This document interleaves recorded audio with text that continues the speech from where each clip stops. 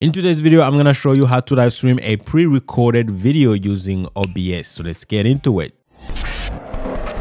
First thing, obviously, you need to go ahead and download OBS. So you're gonna go to obsproject.com. I'm gonna leave a link down below and you can go ahead and download either Windows version or a Mac version, depending on which operating system they're using.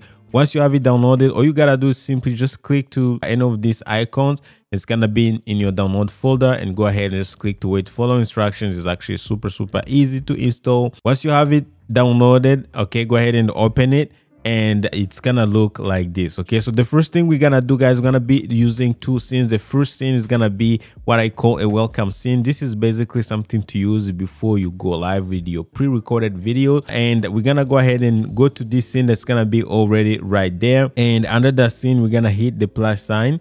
And then we are we're gonna add something called a media source okay? Under sources here so we're gonna go ahead and click to that. And basically I'm gonna be using a countdown timer. So we can name it countdown timer. Click OK. And what I'm gonna do, I'm gonna go ahead and look for that countdown timer. It's a five minutes countdown timer I got from streamtoolz.com. Click to it and uh, click OK.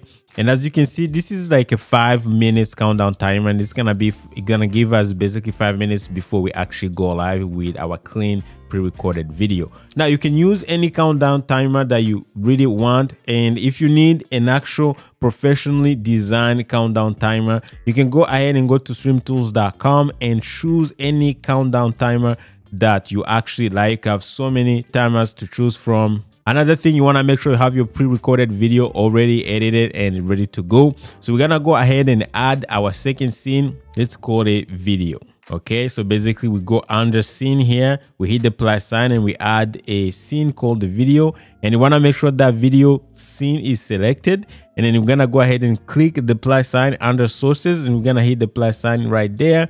And then we're gonna add another media source okay? So for this one we're gonna call it clean video.